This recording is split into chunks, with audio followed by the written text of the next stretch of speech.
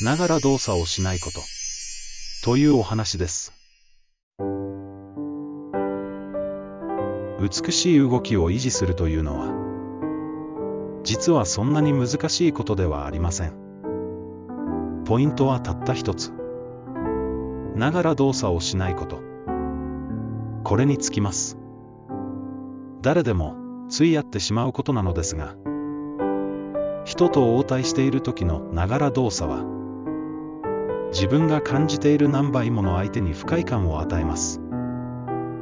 例えば、パソコンの画面を見ながら返事をされたことや、書類を片付けながら指示されたことはありませんかいずれも注意力が散漫で、相手は心がこもっていないと感じるはずです。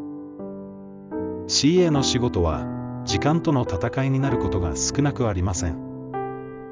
離陸までに、お客様のご案内と荷物の確認。さらには、飛行機の安全確認を短時間でやらなければなりません。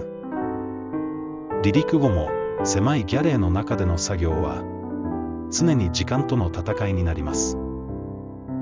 何かをしながら、次にする作業のことを考えなければならない状況というのは、どうしても出てきてしまいます。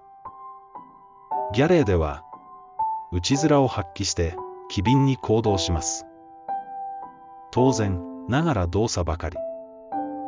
この姿は、乗客の方にはお見せしたくありません。しかし、ギャレーから一歩、キャビンへと出たら、優雅さが大事。どんなに焦っていても、一つ一つの動作を丁寧に、洗練された振る舞いが求められます。どんなに忙しくても、そういう時こそ、一つ一つの仕事をきっちりと片付けてからの作業に移すことが大事です。複数のことを同時にこなそうとすると、どうしても作業そのものが雑になってしまいます。やり直したり、気ばかりが焦ってしまい、結局、一つずつしっかり片付けていくよりもはるかに多くの時間を費やすことになるのです。